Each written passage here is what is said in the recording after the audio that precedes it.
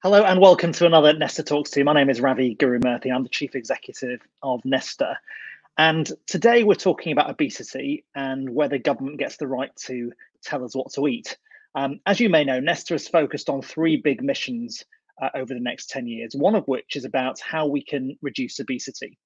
And our starting point is that in order to tackle obesity, you probably have to reduce people's calorie intake. That's probably not going to happen if you just encourage people to diet and assume that individuals voluntarily do that. You probably have to change the food environment. You have to make it easier for people to do the right thing. And with us today to discuss that are two people who come at the issue from quite different perspectives. We've got Dolly Theis, who is at the at Cambridge University's Medical Research Council's epidemiology unit. Um, and we've also got Christopher Snowdon, who's at the Institute of Economic Affairs, who describes himself on his website as a writer, commentator, and scourge of the nanny statists. And so we're going to be debating what drives obesity and what you can do about it. We'll kick off first of all with um, with Dolly uh, and, and and then and then uh, Christopher. We're going to say five minutes or so on their opening positions. I'll then um, ask a few questions, but it'd be great to get your comments and questions in the chat, and I'll try and bring them in as we go through the uh, go through the next hour. So without further ado, let me uh, turn it over to our panelists. Um, Dolly, welcome. Let me hand over to you.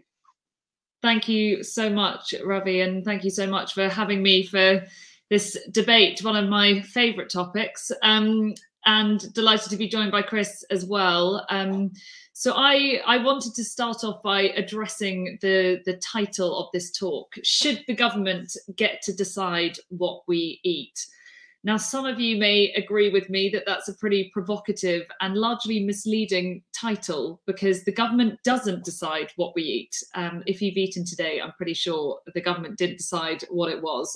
um, but what it can do is it can help shape what options are available to us. So I want to flip the question and ask should the government intervene to ensure that it's easy for everyone, regardless of circumstance, to enjoy good, nutritious food? And my answer to that is yes. Everyone should be able to enjoy delicious food that doesn't then end up making us sick. Because if the balance, like it is today, of what's sold, what's marketed, what's available is massively tilted in favour of unhealthy options, then should government intervene to help rebalance that? What about helping people be free from unhealthy food environments? If the main options around us are likely to lead to poor health outcomes, then how free really is our choice? Whether that's in our schools and high streets or supermarkets, food outlets, how easy is it to enjoy healthy, delicious food without having to think about it that much? And that's really a crucial bit without having to think about it that much because why should it require more conscious effort and resource to eat well versus unhealthily? Why should it be hard to be healthy? So going back to the, the debate, should it be about whether or not government should intervene? Or should it be about why and how it should intervene? It's highly unlikely we'd even be having a whole event on this topic if there wasn't a problem in the first place. And there is. The UK diet is making us sick. Four out of the top five risk factors for healthy years of life lost to disease, disability, and death are related to our diets. Four out of the top five. In other words, the UK diet is leading to disease, disability, and death. But we've actually known that for decades. In fact, this year marks 30 years since the UK government announced that it would introduce policies related to obesity in particular and set targets to reduce the prevalence of obesity. And those original targets uh, back in 1992 were to reduce the obesity prevalence for men by about half to 6% and for women to 8%. So, how well has the government done to achieve that? Well, the obesity prevalence for men today is not 6% it's 26%. And for women, it's not 8%, it's 29%. Now, obesity is just one of many outcomes of our food environment and culture. And the more that we can move away from a focus on weight and the more that we can move towards a focus on just better quality, delicious diets and making that easy and enjoyable for everyone, the better. And now my research has looked at those last three decades to ask why, after 30 years of government obesity policies, as they as are broadly known, have things not only not got better, they've got worse. And I found that although government has published 14 government obesity strategies in the last 30 years, containing almost 700 individual policies, they have largely been proposed in a way that's unlikely to lead to them being action and seen right through.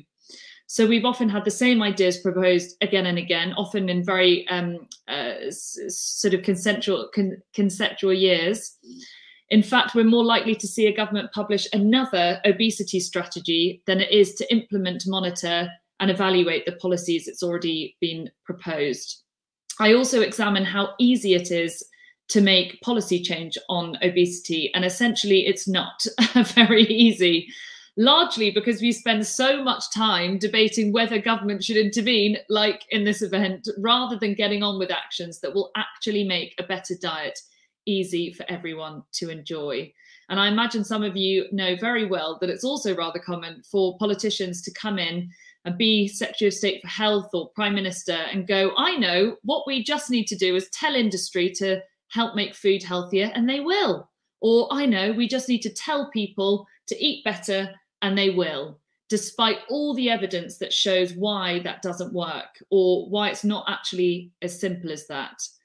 So, going back to the original debate question should the government get to decide what we eat? No, and it doesn't. Should the government help rebalance things so the food around us doesn't end up making us sick?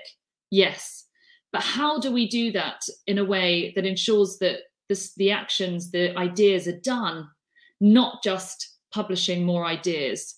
And how do we ensure that policies lead to real change, i.e., that it is made easier for people, for everyone, regardless of circumstance, to enjoy a delicious, nutritious diet?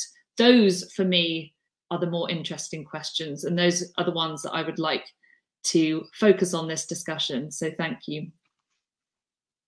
Thanks very much, Dolly. Um, let's turn to Christopher now. Thank you. Nice to be here virtually. Um, I, I don't actually agree that we spend too much time asking whether the government should intervene. I think it's actually quite a nice novelty to be novelty to be able to do to do that today.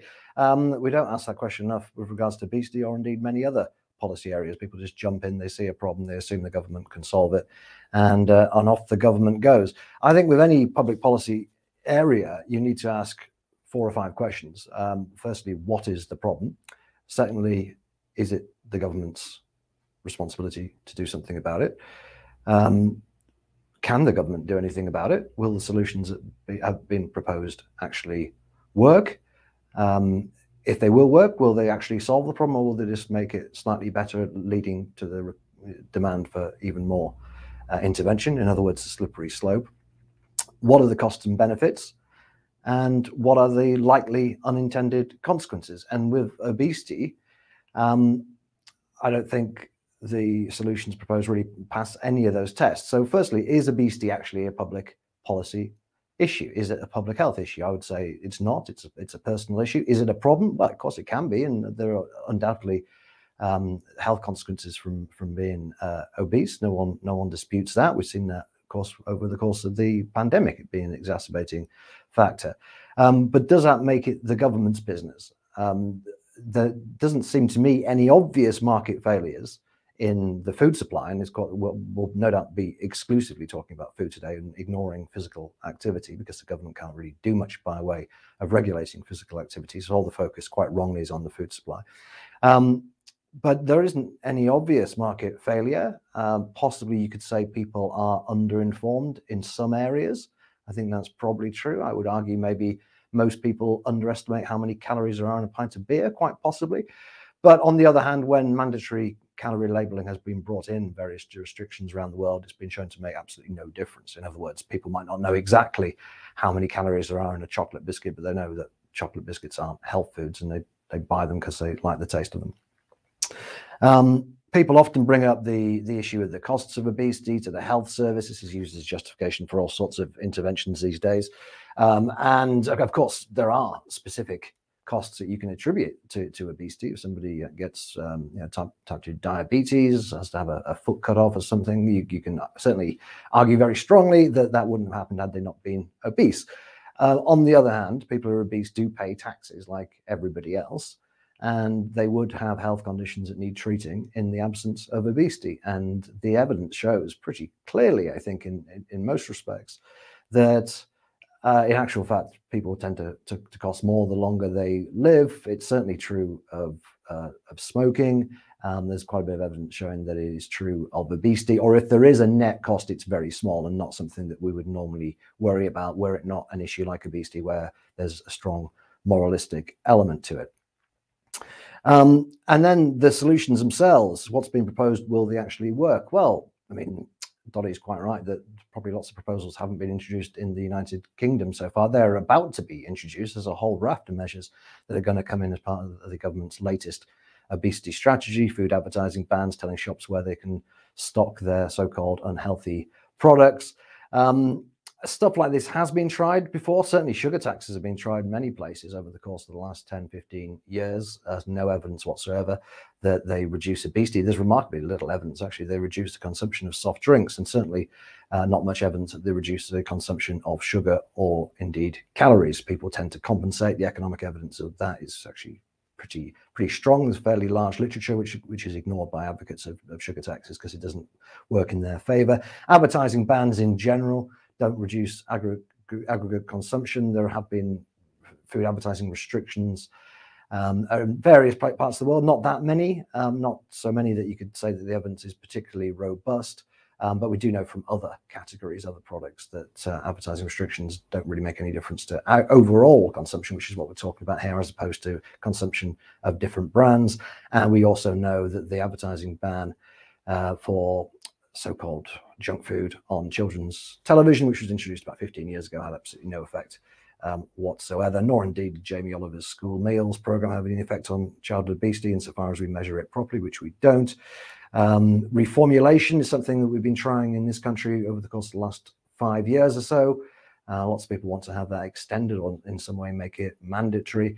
Uh, they need to look at the, the last Public Health England report on sugar reduction. It was a, hilarious uh, flop not because companies didn't reduce the amount of sugar in their products, a lot of them did. It's just that when they reduced the, the sugar content, people stopped buying them and they started buying more sugar sugary products. And the net result was absolutely no increase, sorry, or decrease in uh, in overall sugar consumption from those products, from the, the products in the reformulation scheme, which is basically pretty much any packaged product that you can buy in a shop. In fact, overall, the amount of sugar consumed in Britain increased. There are randomized control studies showing exactly the same thing for the same reason the sugar taxes don't work, which is to say that people compensate. People, fortunately, are free enough to get around these things. They will follow their tastes and preferences, and their tastes and preferences are not the same as those of Dolly and other public health campaigners on the whole. Finally, there is a whole systems approach when you point out to public health people that none of their policies have ever been shown to reduce obesity or even significantly reduced calorie consumption,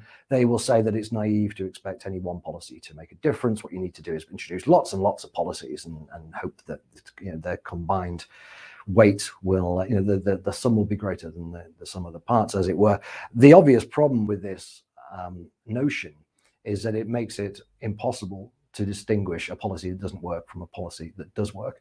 And so the whole idea of evidence based policy goes out the window in favor of just getting a smorgasbord of uh, untested policies or policies that have been tested and shown to fail and throwing them at this issue, hoping that together they will stick, um, which wouldn't be quite so bad if these policies didn't bring their own costs and create their own unintended consequences and other problems. Uh, an obvious example of that uh, is the regressive nature of, uh, of sugar taxes. There was a study came out just last week from the United States showing that 20% of households in the US pay 90% of all the sin taxes. That's taxes on soda, but also on alcohol and uh, cigarettes. These are incredibly regressive taxes, go against the whole idea of health um, equalities, inequalities. Um, so that, that I'll, I'll, leave it there for now, but that's my basic position that we look at these things um, through the prism of evidence-based policy. There isn't very much evidence for any of them, and the justification for the government intervening in the first place is extremely weak. Thank you very much, Christopher. Um, so you're not a fan of this approach.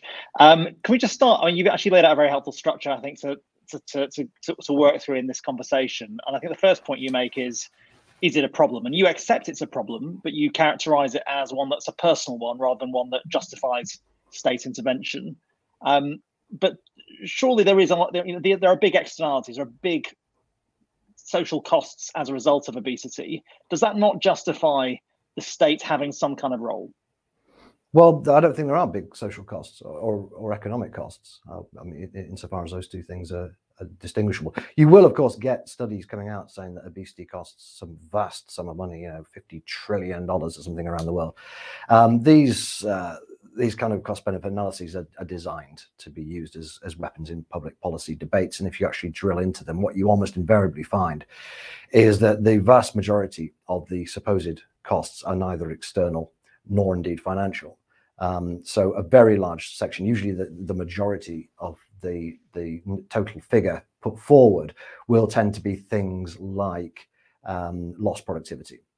And so you can, and this doesn't apply maybe so much for obesity, uh, but it, certainly is a, a, large component. It's very much a large component with things like um, smoking and alcohol. Uh, lost productivity can be absenteeism, but it's also um, sort of uh, another way of measuring lost years of life. So people uh, who are not alive obviously can't work. I mean, it's not that's not an external cost in any in any sensible definition of the word. And even if it were an external cost, even if, um, for example, if you're obese, you don't turn to work, and you you uh, you don't get as much done, that will be reflected in your salary. I mean, there's clearly a, a, link, a very strong link between what people produce and how much they earn. So people like that will be passed over promotion. So in other words, it's an internal cost on them. The the more direct economic cost I've already mentioned with regards to the health service, um, you can always portray there being a very large cost from all sorts of different things if you ignore the counterfactual of how much would have to be spent in the absence of that problem. So in the case of obesity, um, you, you, yeah, let's take the case of somebody who, you know, they're very overweight, they have a heart attack, they, they, uh, they drop dead or they need hospital hospital care for a few weeks before they drop dead, what would they have cost had they not been obese, had they lived another 20 years and died of cancer, which is the most likely thing they would have died from. And the cancer obviously wasn't obesity related. What would the cost be there? Well, we never find out because they never include the other side of the ledger in these kind of studies. So you get a very partial view. Um, they're not really uh, cost benefit analysis because you don't actually see the benefit, which is to say the, the savings that you would see um, in a in a counterfactual and, and by this principle, presumably you would not be in favour of things like seatbelts being compulsory for the same reason. Well, I think seatbelts should be compulsory, and it's not something I'm particularly going to go to the wall for. I think I think it's a fairly small liberty, but yeah, the the kind of the ethical case for fining somebody for not wearing a seatbelt is very very uh, uh, thin, I would say. And there's actually more a case for putting seatbelts in the back seats than there is in the front seats, because if you're in the back seat, you can potentially kill the person in the front seat if you uh, if you fly th through the car. Um, but let's not get onto that. Uh, it's a it's, okay. a it's a relatively relatively small issue, whereas I think the government control on the food environment is quite a big issue. So, Dolly, I mean, how do you see this you know, on, on a kind of actual case for government intervention at all in this area?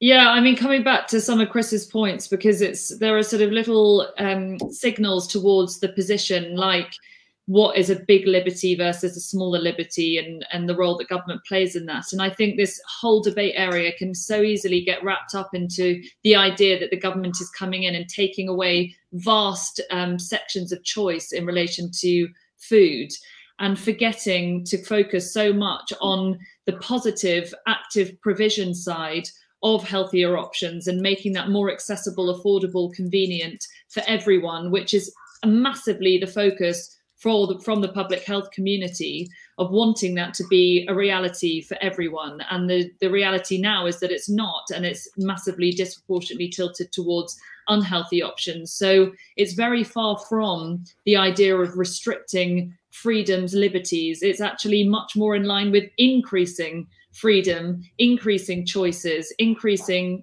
um, the the ability to have options that don't lead to to negative health outcomes. And coming back down to the health side, there again tends to be more of a focus on the obesity uh, uh um, element in particular. I was very careful to select that statistic around the diet related diseases, disability, and death because it's four out of the five top risk factors related to those things are about poor diets. It's not just about obesity, it's about what all poor diets can can lead to. And I think that's really important that we move away from that focus just on weight towards the quality of diets that are available to everyone. And finally, there was one thing um, uh, uh, Chris was saying in terms of the uh, interventions side and how effective they're likely to be. I mean, having been spending these past few years really looking at how how hard it is to make policy change happen, the reality is the nitpicking of how likely each one ends up being becomes so politicized that you end up with a situation where a government will not be not feel that it's politically feasible to expand, for example, the soft drinks industry levy to all products that have high amounts of sugar. For example, the kind of milky drinks that you have in in Starbucks and whatever, if I'm allowed to say any names, um, popular coffee shops, um, uh, or fruit juices or things like that. Because of the political fear that you'll end up with a headline saying, you know, Chancellor taxes uh, milk or which we all know um, in relation to its links with the 80s under Thatcher, that these sorts of things can't be as, as effective as they possibly can be because of these issues, these political issues, um, and the debate around it of, of, the sort of liberties. So there's a there's a bit of a catch 22 with it that you end up in a situation with smaller scopes of policies just because of that political debate around it. So they're, they're you're already reducing its ability to be as effective by that um, debate in the first place. So I'd be interested in, I can see Chris smiling, interested in Chris's thoughts on that of how can you possibly expect the effectiveness to occur if you're debating and reducing that scope in the first place with these kind of positions around um, sort of exacerbating the limits on freedom when we're talking about trying to create freedoms.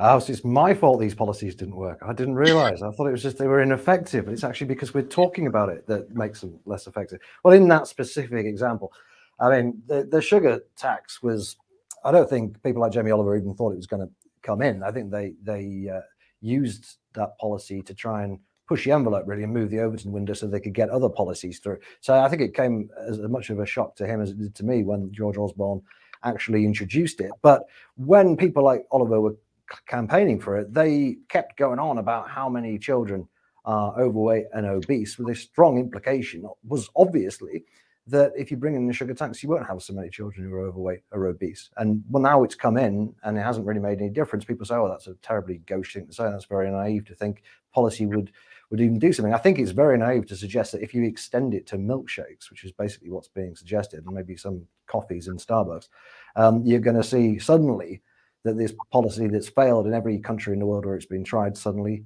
has an effect. And absolutely, we should be arguing about these policies because they have very significant consequences for people. And a tax on all sugary products, for example, would be yet another uh, regressive tax. The, the, sugar tax is in in yeah in, cash terms, you need to be realistically drinking a, a, huge amount of sugary drinks for it to really significantly um, affect your annual disposable income. But it's still it could work out fifty pounds a year. I'd rather for a you know a low income family, I'd rather that fifty pounds was in their pocket rather than in the government's pocket.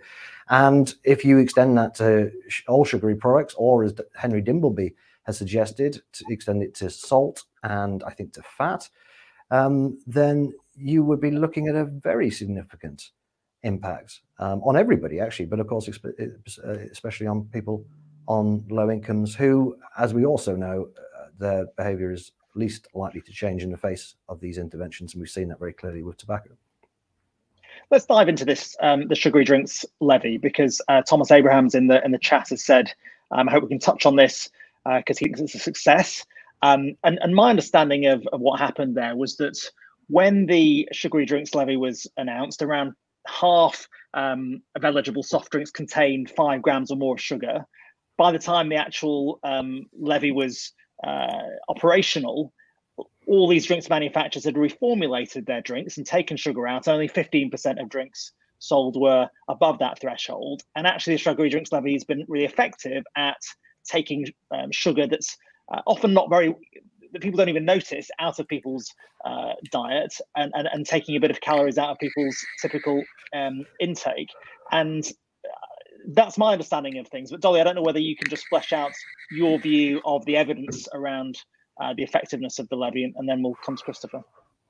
Yeah, absolutely. And I mean, you've you've set it out in terms of the reduction was really in the sugar content around a lot of these drinks, and um, it was designed in a very clever way to make sure that it wasn't about a tax that increased uh, consumer prices, but really was about um, incentivizing manufacturers to reformulate so that they were reducing the amount of sugar and really the sort of high sugar uh, drinks and to really make sure that that was um, incentivized in a way that wasn't only punitive to the manufacturers. There was there were two uh, tiers of the levy so that there was a kind of top end and then you could reformulate down and pay a bit less if you hit within that middle um, point and then anything below that you wouldn't pay anything at all so it was sort of really pushing um, companies to say that you actually don't end up having to pay anything at all if you do reformulate below that that bottom rate. Um, and there has been a massive uh, reformulation effort, which was already happening as the industry made clear before. It was sort of excelled that um, progress that was made. And coming back down to the links with certain health outcomes, it is so critical with anything with public health is to not just have one outcome, which is often the case with government strategies on this issue, that you'll just have the main target is a kind of obesity prevalence reduction, when really there are so many positives that can be had as a result of these interventions in the short, medium, and long term as well. And the biggest example with the soft drinks industry levy is around dental health, which is a huge issue. The main reason why children end up in A&E is because of uh, getting their teeth extracted, which is, you know, it's a shocking statistic. Um, and yet it's something that one intervention like this, yes, you can focus on the, um, the obesity side of things, or that we can absolutely look at all of the different outcomes as a result of this. But it's not just that you stop at it there it is about what other products are likely to uh, need to be included or, or what kind of knock-on effects and negative unintended consequences you may have. And that's the nature of this whole issue is there is no one thing. We have to keep looking, keep evaluating, keep monitoring.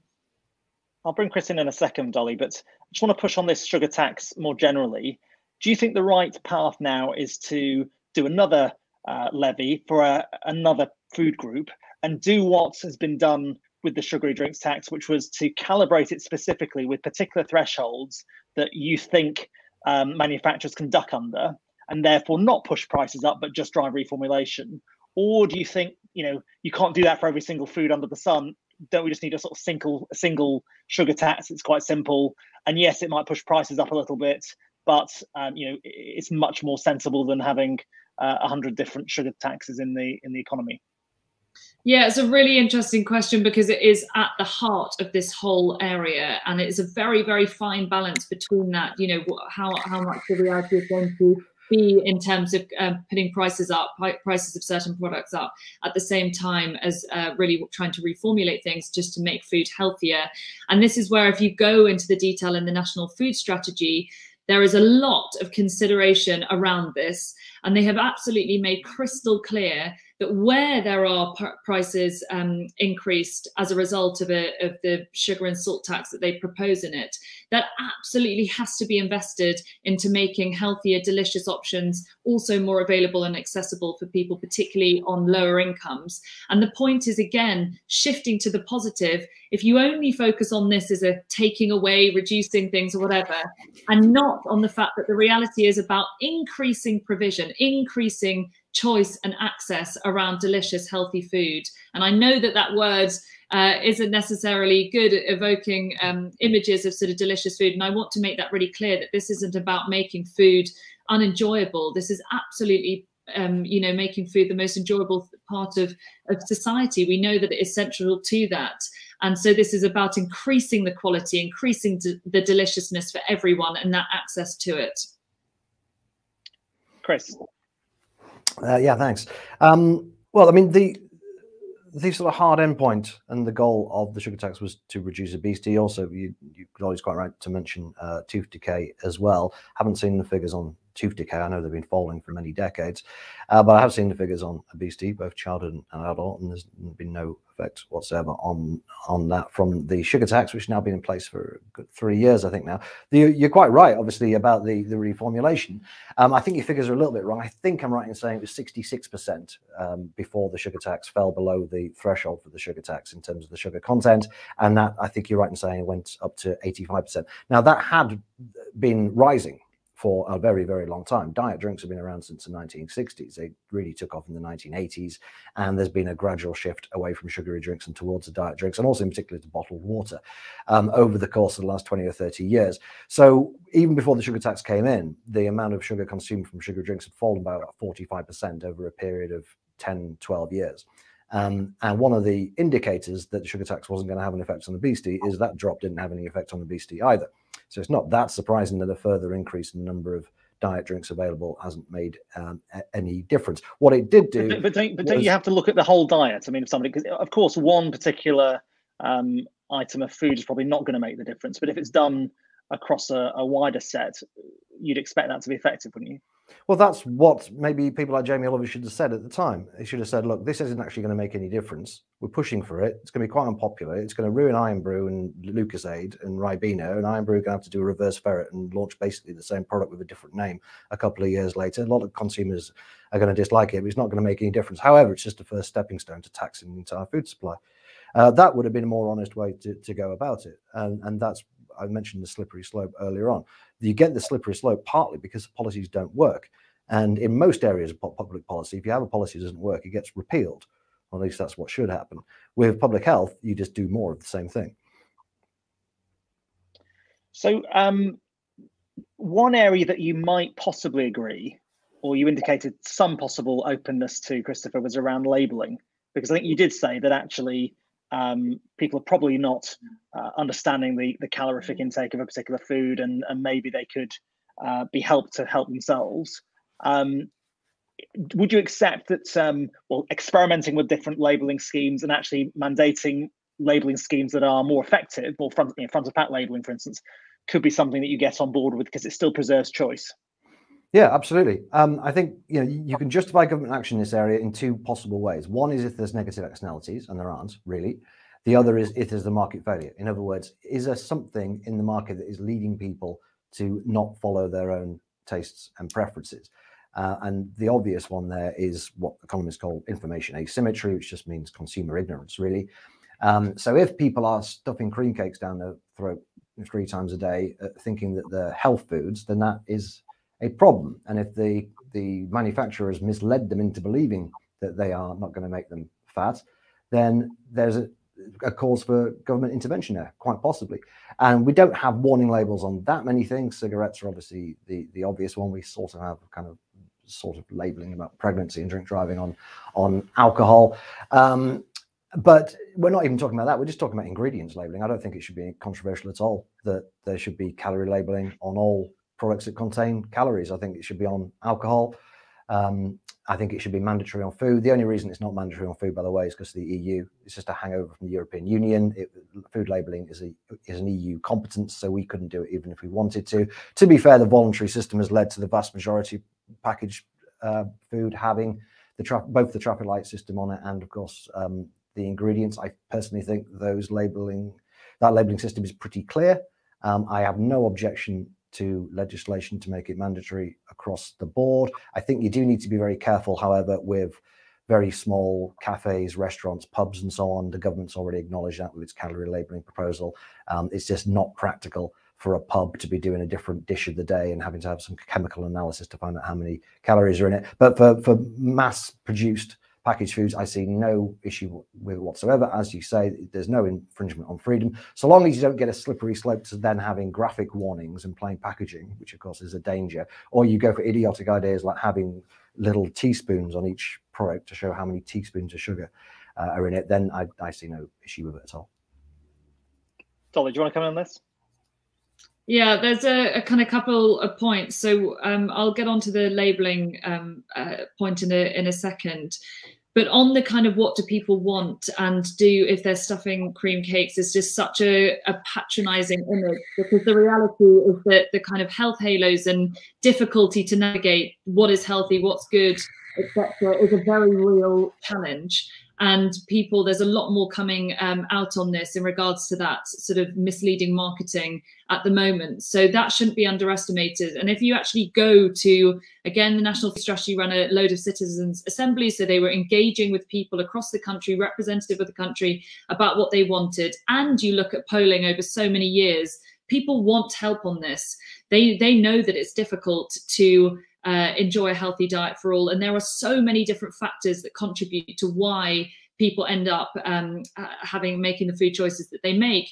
And it can be so complex around what is available what's easy. If you've got pester power if you've got a tight budget and it's the only thing that your children will eat and that leads to certain food choices there are so many factors in this. So the idea that you can limit this image to people stuffing their faces with cream cakes not knowing if those are healthy or not is just so inaccurate of how things actually occur.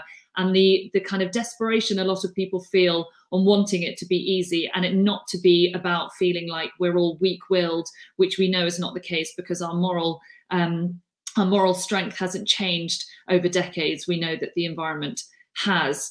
On the labeling front there are two important points to make on this so labeling is typically an intervention that's discussed as about increasing information for people to improve their choices or, or know what they're able to choose. And actually, there is uh, weak or mixed evidence on the effectiveness of that. Um, there are also discussions, uh, I see some comments um, about uh, the sustainability agenda.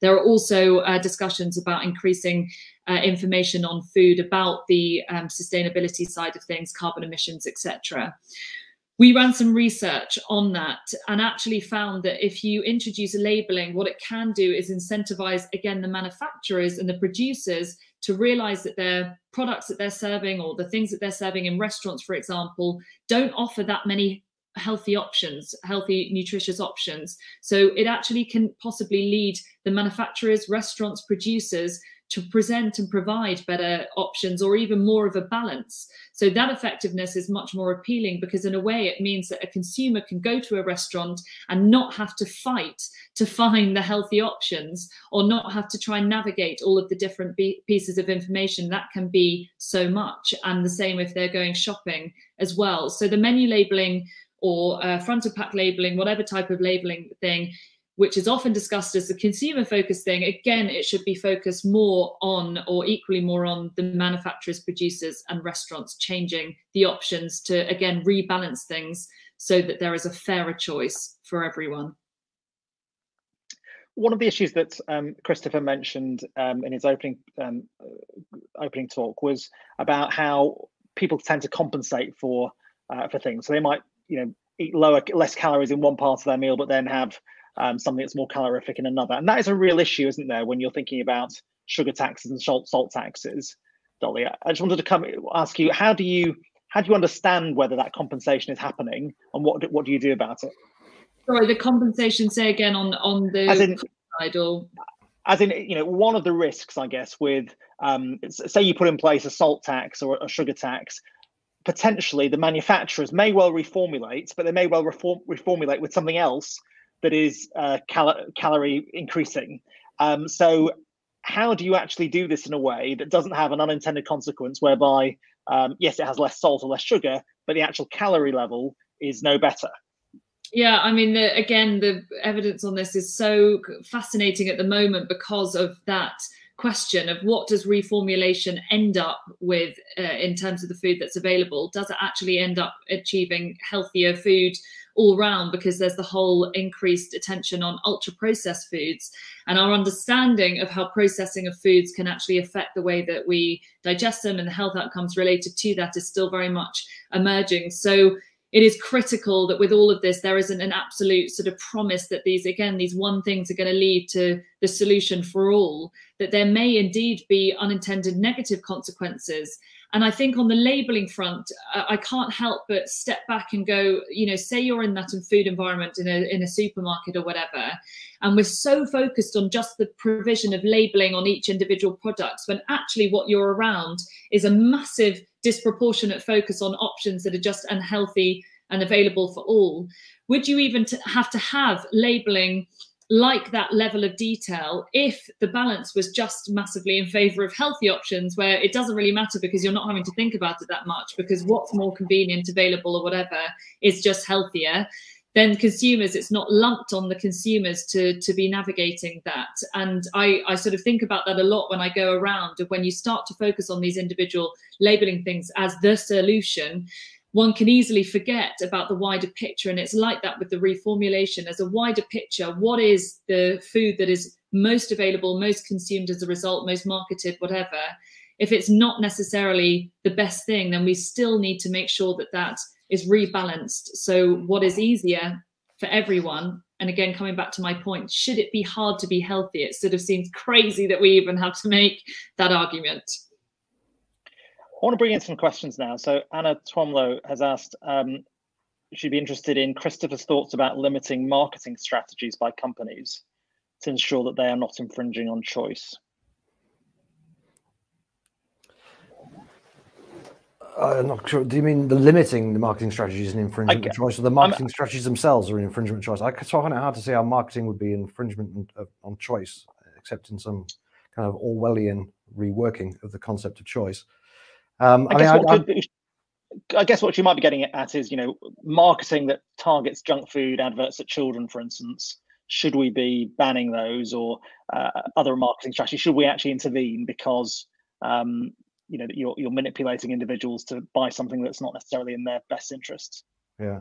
Uh, well, we, we have the Advertising Standards Authority, which is actually pretty strict on on these kind of things, and their watchword is that advertising has to be decent, honest, and truthful and I don't see why anybody would want to ban or restrict something that's decent, honest, and uh, truthful. I mean, for me, the, the, the marketing area is a pretty straightforward issue of of free speech. Actually, commercial free speech doesn't get as much attention as other forms of free speech, but free speech of all kinds is is, is under massive attack now across the the Western world.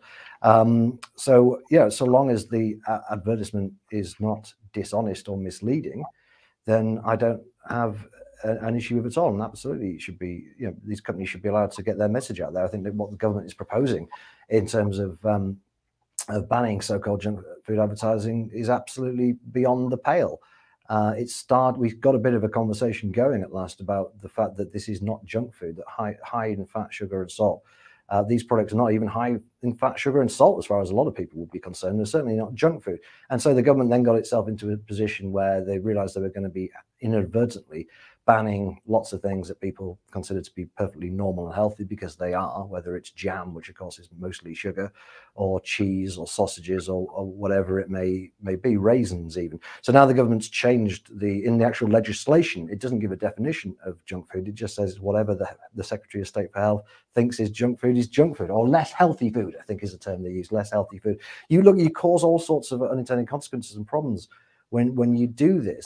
The the the Dolly sort of alluded to this before. You know, but Action on Sugar um, have been, amongst others, including Henry Dimbleby, been complaining. In fact, only yesterday were complaining about supposedly misleading um, marketing on food products, on baby food products specifically, saying no added sugar. Well, these products don't have any added sugar, so it's not dishonest to say that. If people then assume it hasn't got any sugar in it at all, then that's you know that that's their it's a problem largely created by groups like action on sugar who created this spurious distinction between added sugar and, in, and intrinsic sugar which actually doesn't have any scientific validity whatsoever. So it scared people about added sugar. Companies are then using you know just fruit juice or concentrate or whatever and, and now they're being accused of misleading marketing. Henry dimbleby was complaining about percy pigs being marketed as having vitamin C in it. Well, they do have vitamin C in it. I mean, what what are you supposed to do? So who's who's being misleading here? The people who are telling you what's in the products, or the people who are trying to stop you doing so. Dolly, do you want to come in on this and, and just on the rationale or the, or the real reason for, to do um, a ban on junk food adverts? Is it really to shift consumer behaviour Or is the real reason to do, as you were suggesting before, to shift the behavior of producers so they start to reformulate so they don't get um, restricted from advertising? If that is the case, there's a slight risk of the kind of, of a sort of intellectual dishonesty dishonesty in the argument in that the real reason we're doing this is actually is to change the food environment and we're using instruments to to do that and, and perhaps we should be just more honest about what we're up to yeah, the honesty part of this is so hard because there are so many ways to frame it, and that's why I'm really trying to move the focus onto the positive and the provision side and the rebalancing element of this. Because you know, in an ideal world, you wouldn't really have to have um, a kind of restrictions to some extent because the balance would just be in favour of of healthier options. And I have to say, on the marketing front, there are so many things to say about this, but I really have to point to the work of Bite Back uh, 2030, which is the youth led um, uh, campaign organization which is calling massively for uh, the marketing and advertising of unhealthy foods to be tackled. And they very powerfully, the, the youth ambassadors, um, talk about the fact that they realize now that how heavily bombarded they are with unhealthy food adverts. And again, don't want to be. it is unhelpful when you have those triggers all of the time. And just to get under the, the hood of these marketing strategies, I remember talking to someone who had worked for one of the major um, snack companies and their marketing strategy was uh, developed around six snack points in a day. so when you're talking about honesty around marketing, if if the business model is designed around getting people to a six snack point per day uh, outcome, that is dishonest. And the idea that you have honesty on the packets, yes, you know, you can put vitamin C or whatever, you're not being honest about how much you're expecting consumers to buy and consume and taking zero responsibility if that's actually not what people or the world that people want to live in. And Bite Back is making the case very, very strongly that that is not something young people want. Great, thank you. Um, Anna has come in with some um, further points on that, so do check those out in the chat. Um, I want to turn to Kristen Bash's question now, because um, we've talked a lot about taxing, um, but what about actually reducing the cost of healthy foods? So she's asked, what do speakers think of subsidising fresh healthy foods, fruits, veg, whole grains as the other side of taxation? Um, Christopher, is this equally objectionable as taxing because it's going to have to come from um, another tax to subsidise these things? Yeah, what it would do, yeah. So it's it's indistinguishable in, in many respects with regards to the the consequences for people. It's also totally impractical. I mean, you hear people saying this sometimes. Oh, okay, well, let's not tax the unhealthy stuff. Let's just make the the, the healthy stuff cheaper. How are you actually going to do that, given that the government doesn't control the price of food in this country? I can't see any way to do it, which at the very least wouldn't leave you wide open to fraud um, because somebody would have to decide what the kind of natural price is, and then you give it to who? The farmers, the supermarkets? I, I, I don't understand how how it, would even work. I guess you could give food stamps to people that could only be used to, to spend on, on fruit and vegetables. Um, that they do do that in America. It's quite controversial, but they, they do it. Um, so it's it's impractical, and as you say, it's commensurate to to a tax on people who are not buying these products. It's also totally unnecessary because fruit and vegetables are really, really cheap. And there's this weird kind of delusion amongst a lot of people, including and especially in public health, that it's really expensive to to eat you know potatoes and carrots and peas. Well, it, it isn't. There are of course expensive vegetables if you want to go down the exotic end of the market. But there's a reason that the poor of the world have had vegetables as their staple diet for in whole all of human history, and that is because they're, they're really cheap and they've never been cheaper than they are now. It, people are not neglecting to buy fruit and vegetables because they can't afford it.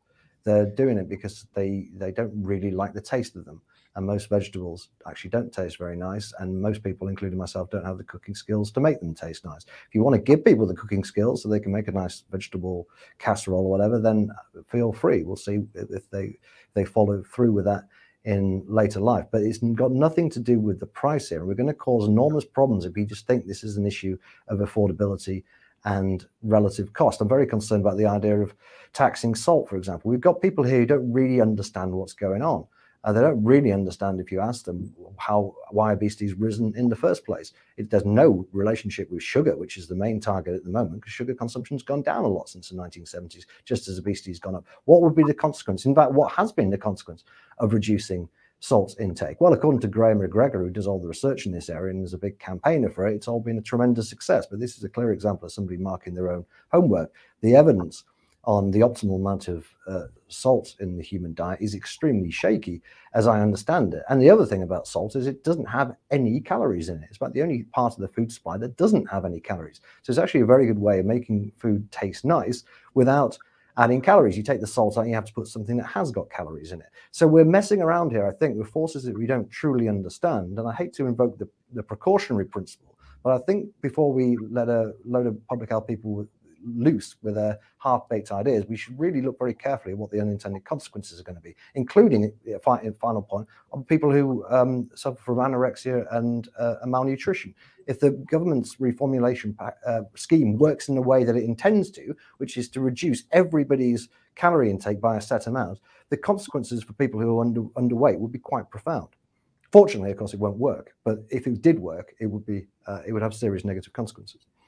Um, Dolly, there's loads in there that you could comment on. Uh, feel free to either comment on um, is it practical to actually subsidize and make healthy foods cheaper? But I think the other point that Christopher made is interesting, which is it, it, does feel harder to actually um, introduce a salt tax than say a sugar tax because there are potentially more unintended consequences. Would you would you be more cautious on on that? Well, I'll come on to the subsidy uh, point first. Um, and I always, I just have to say, Chris, it makes me want to cook for you. The idea that you think vegetables are disgusting makes me sad. Um, I feel like you clearly haven't had a good meal. So, um, I mean, and that is it is so subsidies already happen, and we've got the Healthy Start scheme, for example, uh, where vouchers are, are provided to, to low income families. And there are various things like that. There have been lots of schemes, again, out of the many hundreds of policies that have been proposed over the last 30 years on that sort of free provision of fruit and veg, etc., etc. Supermarkets have done it as well. But it's not enough to get at the real issue around why um, fruit and vegetables aren't actually all, all healthier foods. I'm definitely moving away from just fruit and vegetables being the only idea of healthier foods healthier foods are are, are not um, as cheap is because we're talking about the fact that when it's convenient and set against each other as a fair choice related to calories and convenience and accessibility and all of those things, that's when it's harder. And so just talking about raw ingredients is not an accurate reflection of what is meant by uh, access to uh, affordable, convenient, healthy options. And any research that has been done on this area really does demonstrate that when people try and shift towards a diet of uh, healthier foods, they can end up being more expensive when you're looking at it calorie to calorie or when you're looking at it around uh, convenience um, issues. So that's a really clear distinction. And it's a case that's made often by opposition arguments that you can just cook. But the reality is there are many reasons why that doesn't um, happen. And it's not necessarily just because people don't know how to cook.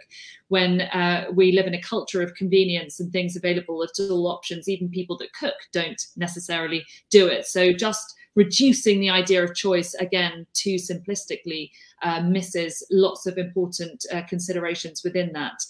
On the salt uh, tax side, yes, the unintended consequences need to be addressed. I think it comes back, I'll end up repeating myself, comes back to exactly what I was saying before about all of these things, that the shift must be stepping back and looking at what options are around us um, in terms of the balance towards the healthier and making sure that it's not lost in that detail where you end up uh, on very real uh, feasibility and practicality issues around some of the reformulation, rather than just looking at what um, how we can shift an environment so that what is most available um, is the healthy option. So, sticking with uh, Christopher's culinary competence or, or lack thereof, um, there is a question in the in, in the chat about um, from let me find it again. It's uh, Kim Townsend what do the panelists think about education's role in terms of nutritious food and preventing obesity at, early, at the early years? And I think there's another question along the similar lines about um, education for, for behavior change. Um, well, first of all, uh, Chris, would you would you would you back that? That's something that doesn't infringe any on any choice. Should we be educating people on how to to make and eat nutritious food? Yeah, of course. I think that's a perfectly reasonable part of home economics, or whatever they call it these days. Um, whether it makes much of a difference in the long term, I, I really don't know. But it's certainly true that people like me don't know how to cook. It's also true that people like me don't really want to cook. And Dolly dismisses convenience as, as almost being uh, a negative thing. Convenience is a very good thing. Not everybody wants to spend an hour and a half cooking a meal. Some people do. That's great. And it does tend to be the people who like doing it who are most keen for the government to intervene. That's why you got so many celebrity chefs, not just Oliver, but um, Hugh Fearnley, Whittingstall, Prue Leith, and all these people. They're, they're, they're, obsessed with food. Fair enough. They're, they're restaurateurs. They're cooks. Um, they're, Chris, I have to, I it's not something everybody.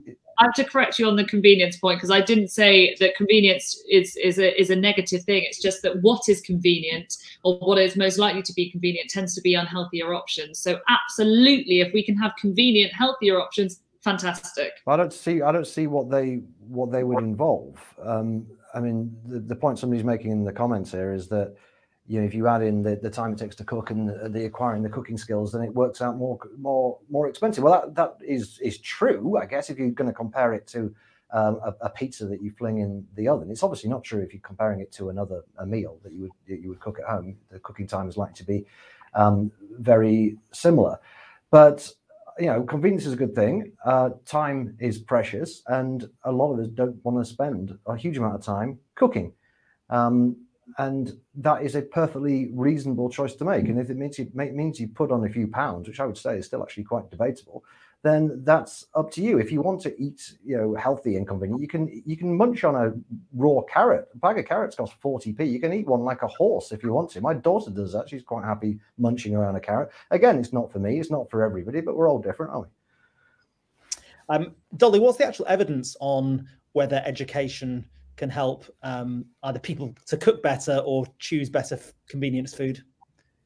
Uh, I mean, it's not the evidence on on on education programs is not my area, um, but I absolutely. I mean, it's funny enough politically in terms of the which is my area more on on the on the policy side is is an area that pretty much everyone agrees needs to be done, and it's kind of fascinating how when you start to look into why those barriers occur within government around education based policies there's sadly quite a lot of pushback from, or has been a, certainly a lot of pushback from the Department of Health over the years of not feeling like health is really their issue and there are lots of other things that you know that department has to focus on. And that's a major barrier that one sees when it comes to getting policy change across government is that other government departments outside of the Department of Health and maybe Downing Street, if the if the Prime Minister at the time is really focused on it, don't necessarily always feel like health is their responsibility. And even more than that, they may actually see that certain policies that are being proposed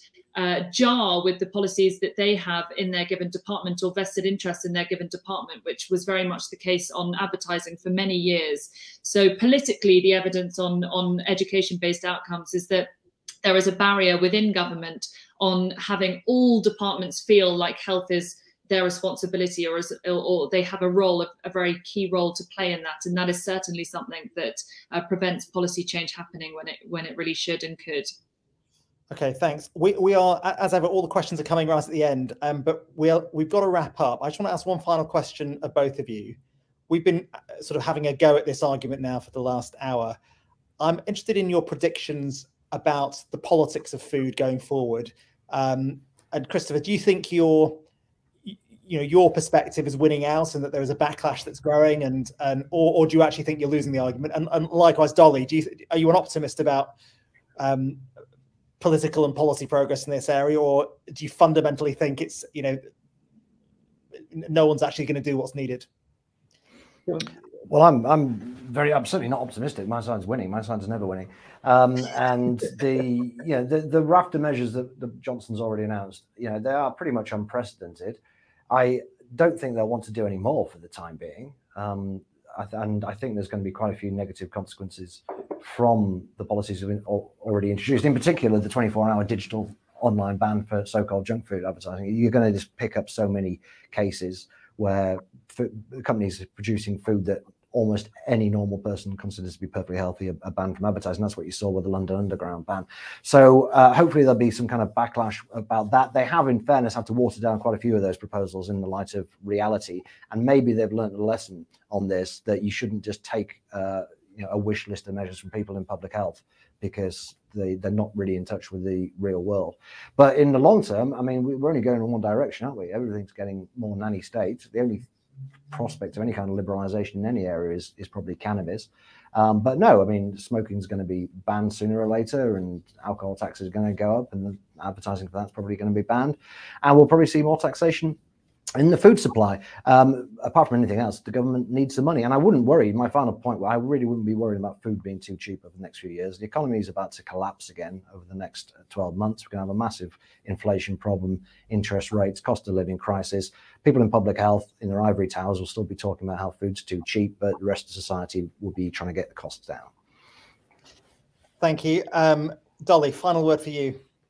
Uh, I, am I an optimist? Yes. And are things moving in a direction where policies are more likely to lead to action and they're more likely to be leading to better pu public health outcomes? Yes. So hopefully that will continue. And I think anyone watching that is keen to be part of that, absolutely uh, be encouraged to do so. And uh, thank you also for opening debates like this because I think it's so important that we keep attention on this issue up as it is critical thank you very much. Thank you both for joining us. I thought it was a really interesting conversation, and it's great to sort of challenge our assumptions on this. Um, as I said at the beginning, this is one of our three big missions that we're focused on. So do keep in touch uh, to hear more from the team on the work over the next few years. Uh, Dolly, Chris, thanks very much, and thanks to all the audience for great questions. Bye bye now. Thank you, Ravi. Cheers.